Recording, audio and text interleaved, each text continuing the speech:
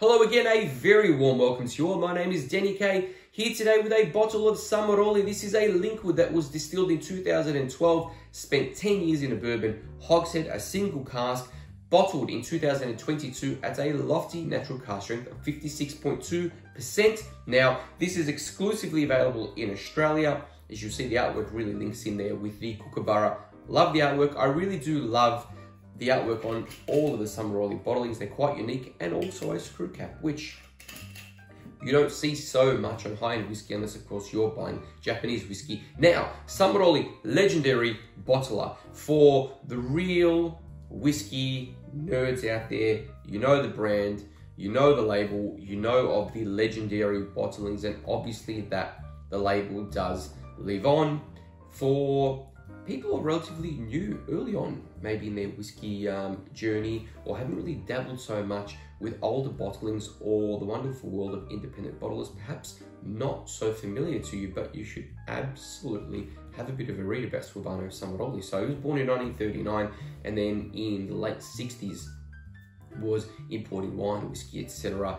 Um, and then that evolved into a label where he bottled some absolutely legendary, legendary whiskey at natural cask strength, which this one here is, but those are absolutely chased by collectors. So not going to get any of those cheap. Really, the only way now is to look for some of the modern day stuff. Linkwood, a rather old distillery founded in the 1820s and now owned by Diageo. So we don't see really many, any official bottlings come out at all. There's of course the Flora and Fauna, which is a 12 year old. If you want older stuff, you have to go to independently bottled whiskey. Gordon MacPhail did bottle some liquid that's over 50 years old because it is an old distillery. This one here is very, very interesting, very unique. So what we're going to do is we're going to go through smell, taste, overall experience, all of those things, give you my thoughts on it. Now, I will say I've tried this with water, without water, not adding any water in this, even at 56.2% because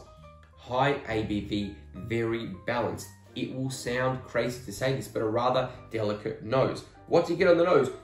Immediately, pear, apples, nashi pear. Apples are golden, delicious apples, not red apples just yet, but that will come. White nectarines and white peach. Some grassy tones coming through, also a little bit creamy. Mille-feuille, which is a French vanilla custard slice. Now, I did say white nectarine, white peach, not, not yellow flesh um, peach. The difference, so yellow fresh peach, higher in acidity, bigger, bolder flavor. White flesh nectarine, peach, far more delicate floral type sweetness that comes through. Okay, now,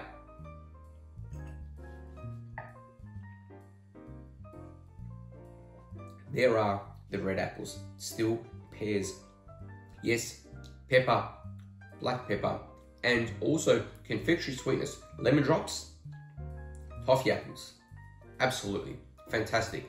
Now, there's a little bit, as we come through to the finish, there's a little bit of some sweet oak in there, pepper, yes, red apple skins, tiny bit drying, medium length finish. Little bit creamy, some milk bottles in there as well.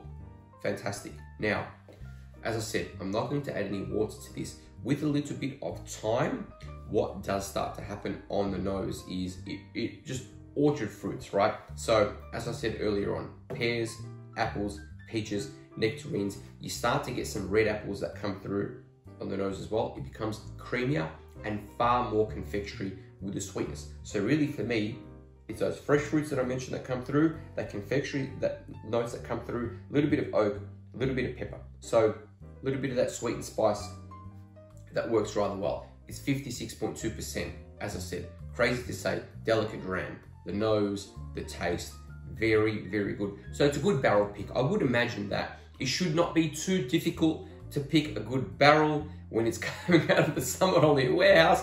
But that being said, this is a very good one and also a good choice not to change the strength or anything like that. To keep this at, at a natural cask strength of 56.2% because it absolutely does work very, very well. I'm thirsty, I'm gonna take another drink. I like it. I think it's a very, very good one. Not your typical type of liquid. Still some of those grassy notes, as I said, that come through, but creamy, lovely sweet notes too. So I dig it. Really, really lovely one. My thoughts on the Samaroli Linkwood bottled in 2022. As I said earlier, if you don't already subscribe, hit the subscribe button, the like button. That way you can join me again next week. So thank you very much indeed. Cheers to you. Till next time.